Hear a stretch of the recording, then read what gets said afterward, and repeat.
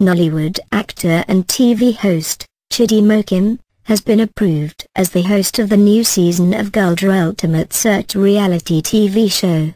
This year's edition of the show started in Uyo, Akwa Ibom State, on September 23, 2013, Monday.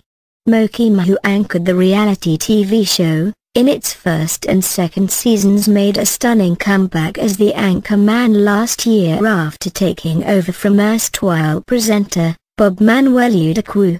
The actor was officially announced as the host of the reality TV show, at the selection party of the Gulder Ultimate Search 10 finalists which held inside the new Expo Hall of Eko Hotel and Suites, Weekend, in Lagos.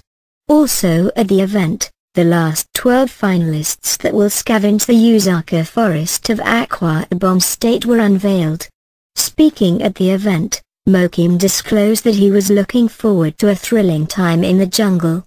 He also advised the contestants to gear up for the rigorous challenges that make up the upcoming adventure, for the jungle is no place for the weak-hearted.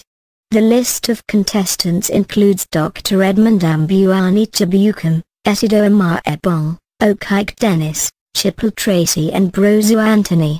Others are Ifunanya Onike Michelle, Shduona Zahalima, Ijeh Peter Oseleka, Ezidi Bobby Nzube and Salako Oladimeji Olukunle.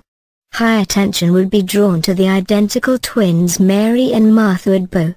It is the first time twins to enter the Gulder Ultimate Search jungle in the reality TV's 10-year history. The dreams of several individuals who made it to the final selection stage were dashed, as they were deemed unfit to participate in Gulder Ultimate Search 10 for various reasons.